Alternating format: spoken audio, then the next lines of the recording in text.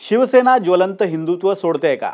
पण ही हिंदुत्वाची दार शिवसेनेची बोथट झाली आहे का असा सुद्धा प्रश्न निर्माण झाला आणि हा प्रश्न विचारण्यामागचं कारण म्हणजे मुख्यमंत्री उद्धव ठाकरेंचं भाषण. त्यांच्या बदललेल्या भाषण शैलीनं शिवसेनेच्या हिंदुत्वावर प्रश्नचिन्ह उपस्थित केलं आहे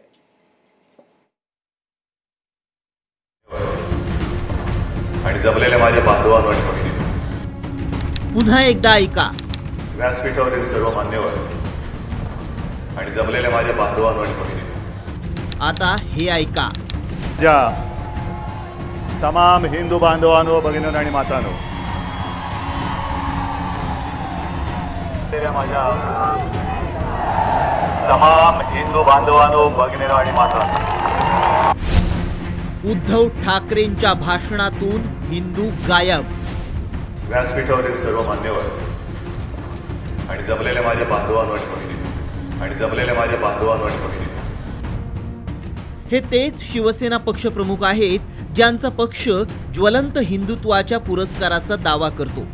यापूर्वी त्यांच्या प्रत्येक भाषणाची सुरुवात ही इथं जमलेल्या हिंदू या शब्दानं असायची.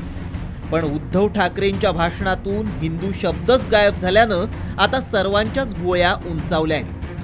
काँग्रेस आणि राष्ट्रवादी सोबत आघाडी केल्यानंतर शिवसेनेच्या हिंदुत्वाबाबत अनेक सवाल उपस्थित केले गेले.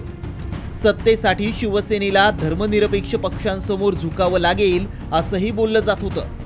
तर शिवसेना आपल्या भूमिकेवर ठाम होती.